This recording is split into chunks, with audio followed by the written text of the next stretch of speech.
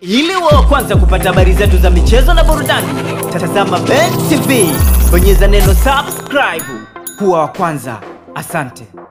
Naam, huhali gani mwanamichezo, karibu sana kwenye Ben TV Media, karibu sana. Hii ni meza ya michezo. Mengi ambayo tutaka kujuza siku leo ni baada ya kumalizika mchezo kati ya Singida Big Stars dhidi ya Simba, mchezo ambao umetoka eh, kwa timu zote mbili kuweza kugawana pointi, lakini pia tutaangazia na mechi ya hapo baadaye kati ya klabu Afrikani dhidi ya klabu ya Yanga majira ya saa mbili kamili usiku, eh, tiketi ya kugombania kuingia katika group stage katika kombe la shirikisho barani Afrika. Hii ni Ben TV Media, unaweza pia ukatuachia comment yako hapo chini kwa jambo lolote lile ambalo unatamani kuweza kushare na sisi. Nitakuwa na mchambuzi wangu Mwalimu Gonyani ambaye atachambua mchezo mzima kati ya Singida Big Star dhidi ya Simba Sports Club, lakini pia tutaangazia mchezo hapo baadaye kati ya klabu Afrikani dhidi ya Yanga, nini ambacho anachokiona mtazamo wake, lakini pia kuelekea huu mtanange wa hapo baadaye. Basi nikombe tu, kama bado hujasubscribe, hapo chini kuna neno limeandikwa subscribe, tafadhali sana naomba bonyeze hilo neno, kwa sababu utakuwa mtu wa kwanza kuweza kupata habari zetu pindi tu ambapo tunazitoa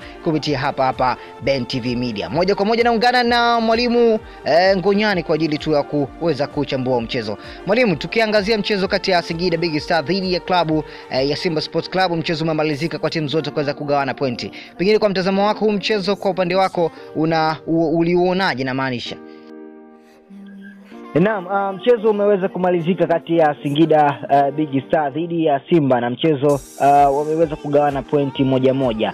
Pengine tukianza kuchambua huu mchezo uh, uliuonaje, lakini pia nini ambazo timu zote waliweza kuingia katika huu mchezo? Uh, mchezo ulikuwa mzuri na kimsingi ni kama nilivyotarajia. Uh, nilijua kwamba Singida Big Stars na Simba watauchezea wata mpira sana katika katika eneo la midfield na kama ilivyoonekana kwamba katika kila pande zote mbili zijaribu kufanya mchezo kuwa mzuri na pengine ingekuwa hatari katika goli la timu pinzani, lakini mwisho wa siku matokeo ni kama yalivyoonekana, wamegawana pointi kwa uh, Naam, labda pengine uh, Singida walikosea wali, wali wapi? Kwa sababu walianza kutangulia goli mapema kabisa, na baadaye kipindi cha pili, baada ya kufanya substitution, basi eh, goli Simba wakaweza kupata goli. Pengine Singida walikosea wapi uh, kuweza kulinda lile goli lao? Uh, unajua katika mpira katika mpira uh, kutangulia si kwamba hautafungwa. Tuna, tunaona katika mechi nyingi kwamba uh, kuna timu inaweza ikaanza kushinda, lakini baadaye watu wakaja wakafanya comeback na Singida walikuwa wazuri na ukumbuke kwamba Singida alikuwa anacheza na Simba Sports Club, au sio? Uh, Simba moja kati ya timu kubwa katika katika Tanzania na ni moja katika ya timu kubwa Afrika kwa sasa. Hivyo Singida kwao kupata matokeo haya ni, ni, ni jambo la, la, la kufurahi pia. Sawa, pengine za karata ya Simba na tofauti ya pointi tano sasa hivi na kina na Yanga, nini ambacho pengine uh, kwa mtazamo wako huu mchezo uh, Simba wameweza kutoka sare ya bao moja moja, kitapunguza nini kwa Simba, lakini pia kitaongeza nini katika ligi kuu ya NBC? Uh, kwa matokeo haya kuna gap la point tano dhidi ya vinara Yanga. Simba bado wana, kazi ya kufanya kwa sababu unafahamu kwamba uh, mwisho wa siku uh, mpira wa miguu una count zile points ya mwisho wa siku anapatikana bingwa. Tunajua kwamba Yanga ana, anaongoza ligi na kwa sasa yuko away, anakwenda kucheza mechi yake baadaye saa mbili na Simba ame, ametoa draw katika katika gemu hii. Kwa mashabiki wa Simba hii ni tension, kwa sababu wanaona walitegemea kwamba uh, pengine mechi hii wangeweza kupata pointi tatu na hivyo kupunguza lile gap kati yake na kinara Yanga, lakini kupata pointi moja, na ukumbuke Yanga bado akirudia na mchezo atakaocheza, na hatujui matokeo yatakuwaje. Kama atashinda, maanake atakuwa anazidi kuongeza pressure dhidi ya Simba.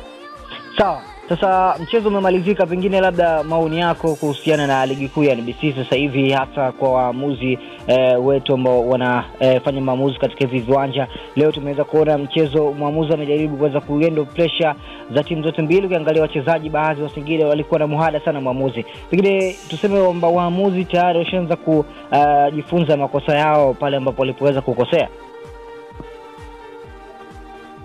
wanakuwa watoa suluhu kulingana na kanuni za za, za mpira uh, zinazoongoza uh, katika katika ligi au dunia. Uh, waamuzi wa Tanzania nafikiri bado kuna changamoto kubwa. Changamoto iliyopo nafikiri ni ni, ni, ni, ni uwezo wa, wa kuona na kutatua uh, kwa wakati na hiyo umeiona hata katika mechi ya leo ambapo kuna kipindi uh, mwamuzi ali, ali, ali, ali faulo ambayo pengine haikuwa faulo, lakini ah, kwa sababu pengine ya kuchelewa ku- ku- ku- kutumia kanuni au kutafsiri kanuni aa, ilipelekea baadhi ya wachezaji wa Singida kuweza kumzonga na yote katika yote amechezesha vizuri. Sawa, tuangalie kocha Mgunda sasa, nafasi yake katika timu hii ya Simba Sports Club. Pengine tuseme kwamba uh, kupewa timu moja kwa moja itakuwa ni, ni, ni noma sana. Ah, kwa Mgunda kupewa timu kwa timu kama ya Simba sifikirii, bado sijafikiri hivyo. Naamini bado Simba wana, wana wanaendelea kutafuta kocha ambaye atakuja kufiti katika nafasi hiyo. Unajua Simba ni timu kubwa, Simba ina, inashiriki mashindano ya, ya, ya, ya, ya, Afrika, kwa hiyo inahitaji kocha ambaye ana experience katika michuano hii ili aweze kukipeleka kikosi cha Simba kuweza kufikia katika uh, katika maeneo au katika hatua ambazo uh, pengine hata kama watakuja kutolewa mbele, lakini ziwe hatua za mbali zaidi. Kwa hiyo kwa maana hiyo namaanisha kwamba Mgunda hastahili kuifundisha Simba Sports Club. Ah, bado bado hajafikia levo hizo, kwa sababu unafahamu kwamba experience ina mata katika soka la Afrika. Lazima utafute kocha ambaye ana viwango zinafanana na michuano ambayo Simba anashiriki sasa hivi. Sawa, hapo baadaye majira ya saa mbili sasa Yanga wanaenda eh, kuchanga karata yao dhidi ya klabu Afrikani hapo majira ya saa mbili. Pengine tukianza kuchambua huu mchezo uh, kwa vikosi vyote viwili, tukianza na Yanga, pengine uh, unatarajia kuweza kumwona nani na nani wakianza katika ile uh, first 11 ya leo? Ah, naamini mabadiliko yatakuwa machache sana kama mwalimu atahitaji kufanya mabadiliko, hasa eneo ambalo ah, Juma Shabani Soda ya Bemba ambaye ameachwa Tanzania, lakini ukiondoa yeye, mabadiliko yatakayotokea mengine pengine ni machache sana kulingana na namna Ah, nafikiri eneo la katikati pia litakuwa na mabadiliko ili kusudi timu iweze kupushi mpira kwenda mbele kwa tukio ambayo Yanga waliyapata hapa katika uwanja wa Benjamin Mkapa na na mpira ambao wanakwenda kuucheza leo. Uh, dhamira kubwa kwa, kwa kwa Yanga hapa ni kuhakikisha japo wanapata goli moja ambalo pengine linaweza likawa linaleta uh, mushkeli kwa kwa Club Africans. Kauli ya Aziz Ki leo uh, wakati anaujiwa alisema kabisa kwamba mashabiki waisapoti timu pamoja na wachezaji. Pengine ni kweli wachezaji wanahitaji sapoti ya mashabiki au wachezaji wanapaswa kufanya kile ambacho walichoweza walivyoweza kusajiliwa katika hii timu ya Yanga? Unafahamu, unaposajiliwa una, unakuwa na deni, unaposajiliwa unakuwa na deni, na unaposajiliwa maanake inatumika fedha kubwa. Huu ni uwekezaji mkubwa uliofanywa na GSM na kuif, ili kuifanya Yanga kuweza kufanya vizuri katika mashindano ya nje pamoja na ya ndani. Kwa hiyo kwa sasa hivi wachezaji wana deni kwa mashabiki. Unafahamu kwamba Yanga alitolewa katika katika klabu bingwa Afrika na sasa hivi katika shirikisho. Homa ya mashabiki wa Yanga ni kwamba huenda katika mechi ya leo pia Yanga anaweza akatolewa. Kwa hiyo deni ambalo wanabaki nalo ni wachezaji na si mashabiki, ndio kama tunavyoona katika michezo mbalimbali, lakini wachezaji bado wanabakia kuwa na madeni makubwa sana kwa mashabiki wa Yanga. Mashabiki wanafahamu kwamba kila klabu ya klabu yao ime, imetumia fedha nyingi uharamia eh, kuwa na wachezaji wa namna ya kina Hadidi ya Ucho, kuwa na namna ya wachezaji kama wakina Yani Kibangala. Kwa hiyo wao wana- wana- wanataka wanatakiwa kufanya ile return ili mashabiki wapate furaha.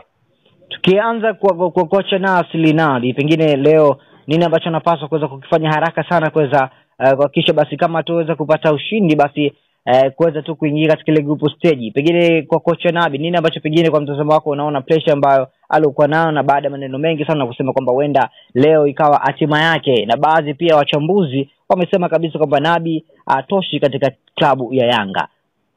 Ah, unajua kwa mechi kama hii Nabi kichwani kwake plan A ni ushindi, plan B ni ushindi, plan ushindi. Nabi anahitaji ushindi ili kuweza kuvuka kikwazo hiki. Uh, mwalimu anapaswa ku, ku, ku, kuangalia namna ya kubalance team kuanzia katikati ya uwanja kuja kwenye ulinzi, lakini pia katikati ya uwanja kwenda kwenda kwenye eneo la kushambulia. Kwa hiyo mwalimu anatakiwa kuweka wachezaji sahihi ambao watakuwa wanafanya kazi kwa wakati. Kama ni wakabaji basi wakabe kwa wakati, na kama washambuliaji basi wahakikishe kwamba katika kila nafasi inayopatikana inageuzwa kuwa goli. Asante sana na tusubirie mchezo hapo saa mbili, na baada ya hapo basi tutakuja kuchambua mchezo wote. Asante sana.